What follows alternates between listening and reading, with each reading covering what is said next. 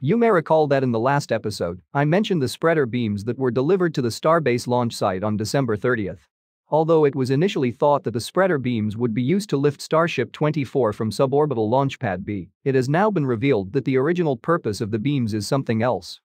On Monday, January 2, SpaceX connected the spreader beams to several counterweights that were previously used by cranes at Starbase to prevent overturning when carrying heavy objects. On Wednesday, teams installed the spreader beam and counterweight assembly on the orbital launch mount. The orbital launch mount consists of 20 hold-down clamps to secure the Starship launch vehicle in place. The launch vehicle will topple if the clamps fail, and depending on the direction it falls, it might severely harm the launch pad, the launch tower, or the orbital tank farm. SpaceX has never fully loaded a Starship rocket before because they have never tested the clamp's ability to support a fully loaded vehicle. The new load tester was mounted on the launch mount to mimic the mass of a fully loaded Starship. In this way SpaceX can test whether the clamps can hold a fully fueled vehicle securely. The load test machine is designed in such a way that it can hold on to two opposite clamps at a time. In this video shared on Twitter by Ryan Hansen Space, you can see how the mechanism will connect to the clamps and how it will shift from clamps to clamps after each load test. A fully loaded Starship launch vehicle weighs 4,536 metric tons, and 20 clamps together must be capable of supporting that weight. This implies that each clamp must be able to support about 227 metric tons. Assuming a 10% safety factor, SpaceX must load about 500 metric tons of counterweights into the load tester to test two clamps simultaneously. The load test on the first two clamps took place on Thursday. SpaceX tested the load-bearing capacity of the clamps by raising and lowering the counterweight off the ground several times. On Friday morning, teams shifted the load tester to the next pair of clamps and later tested the load-bearing capacity of both clamps. Over the next 21 hours, teams relocated the load tester to the remaining eight pairs of clamps while testing their load-bearing capacity. The load tester was removed from the orbital launch mount on Saturday morning, concluding the structural test. If the test data is satisfactory and SpaceX is confident that the clamps can support a fully fueled Starship rocket, the next steps will be a full-stack wet dress rehearsal and a 33-engine static fire test. A road closure is scheduled for Sunday evening to perform transportation operations, if the weather permits. If Booster 7 is rolled out to the launch site from the Mega Bay on Sunday, we could see a Ship 24 and Booster 7 full stack very soon. An unusually long 15-hour road closure is scheduled for January 9, so it looks like something big will happen on Monday. SpaceX may be planning to stack Ship 24 on top of Booster 7 and perform a wet dress rehearsal on Monday. Keep an eye on the LabPadre YouTube channel to receive live updates from Starbase. After spending several weeks at suborbital launch pad B, undergoing numerous repairs and passing a static fire test, a crane lifted Starship 24 and placed it on a transport stand on Thursday afternoon. It looks like SpaceX is not yet ready to lift Starships with the new jig delivered to Starbase two weeks ago. Please check out my previous update to learn more about this new Starship lifting jig that will make the nose cone lifting points redundant.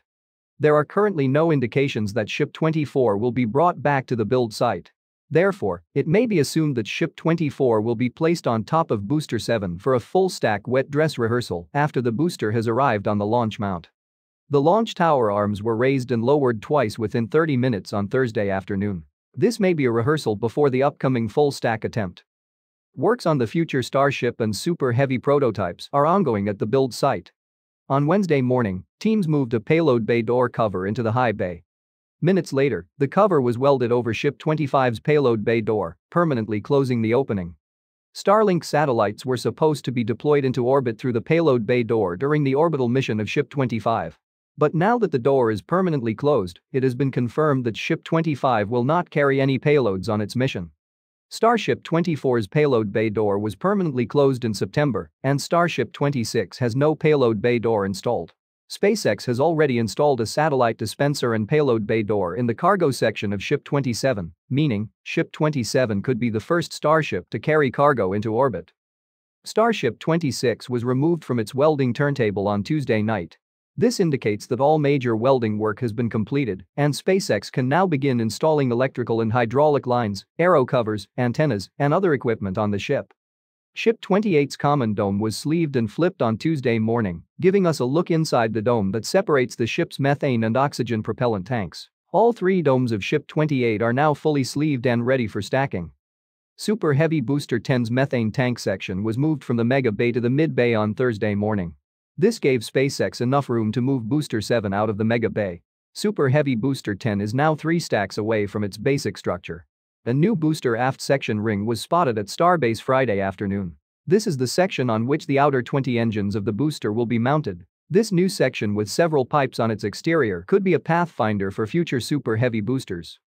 At Kennedy Space Center on early Friday morning, teams moved the rocket catching and stacking arm carriage to Launch Complex 39A from SpaceX's facility at Roberts Road. Two red frames are currently being built near the Starship launch tower at Pad 39A. They resemble the frames used as a pre-assembly jig at Starbase 18 months ago.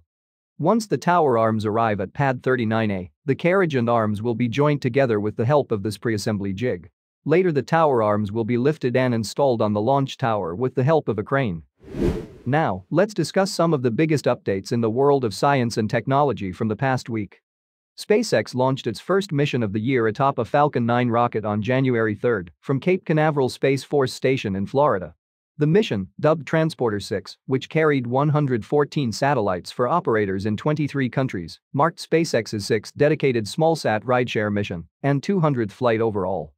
The Falcon 9 booster featured on the mission, B1060, marked its 15th successful launch and landing, tying a record for the most flown booster in SpaceX's inventory. Nearly an hour after liftoff, the rocket's upper stage deployed its 114 payloads into a 525-kilometer sun-synchronous orbit, inclined 97.6 degrees to the equator. The process, which involved 82 separate deployments, took more than half an hour to complete. The largest single customer on the launch, in terms of the number of satellites, was Planet, which had 36 of its Super Dove Earth imaging satellites on board. The Super Dove satellites, which have optical cameras with sensors in eight spectral bands, supplies remote sensing data to commercial customers, intelligence agencies, and environmental monitoring groups. The Transporter 6 mission also deployed the 178 kg EOS Sat-1 satellite for EOS data analytics. The EOS SAT constellation consists of seven small optical satellites created to support the implementation of sustainable agriculture methods and environmental monitoring of forestlands by providing high-quality data for analysis. Several of the payloads on Transporter 6 are orbital transfer vehicles that will later deploy satellites into various orbits. Be sure to check out the link in the description if you're interested in learning more about all 114 satellites launched on the Transporter 6 mission. The Transporter SmallSat rideshare program began with the Transporter 1 mission in January 2021 that launched 143 small satellites and transfer vehicles into orbit. SpaceX charges customers $1.2 million to send a 200 kilogram payload into Sun synchronous orbit on a dedicated rideshare flight. According to SpaceX, the price is enabled by cost reductions from reusing Falcon 9 rocket hardware. The next SpaceX rideshare mission, Transporter 7, is currently targeted for April 2023. SpaceX, whose 61 launches in 2022 were nearly double the 31 launches it conducted in 2021, will attempt to set another launch record in 2023. According to Elon Musk, the company will attempt as many as 100 launches this year, a total that likely includes its Starship vehicle, whose first orbital launch is expected in the first half of 2023. Please check out my latest video that discusses all the 100 SpaceX missions of 2023. Link in the description. Virgin Orbit is gearing up for its first launch from the United Kingdom as soon as January 9. If the weather is favorable, a modified Boeing 747, named Cosmic Girl, will take off from Spaceport Cornwall on Monday with a 21-meter-long Launcher 1 rocket packed full of satellites.